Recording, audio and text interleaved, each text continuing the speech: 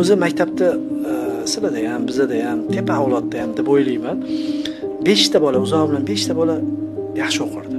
Va domlalar o'shalar uchun dars o'tardi esimda asosan. Asosan shu beshtani ushlab olishadi. E, bir domlani ma'ruzasini eshitgandim menga yoqqan edi.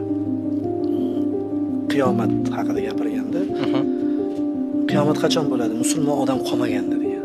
Nima uchun deyilsa mana maktabda deylik to'rtta beshta bola uchun dars o'tiladi hamma sinfda degan shu misol keltirganlar o'sha hamma sinfda to'rtta beshta bolani olib tashlasa maktab yopiladi ya'ni o'shalar uchun o'qitilayotgan edi maktabda.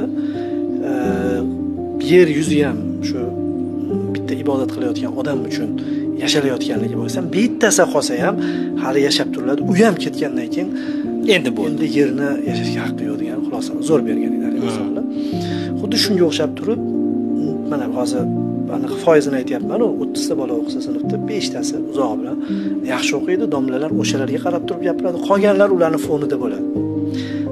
Bilishadi qaysi bola qanaqa olishini kelib yurishini shu kelib yursa ham katta gap degan e, e, esheloni bo'ladi. U umuman kelmay qo'ydi kelmasa ham tinch bo'lsin degan esheloni bo'ladi. Va umuman bu maktabdan ketib qolsa xursand bo'lib turib osh beradigan Mm. eshelon ham bo'ladi hamma sinfda deyarli shunga o'xshash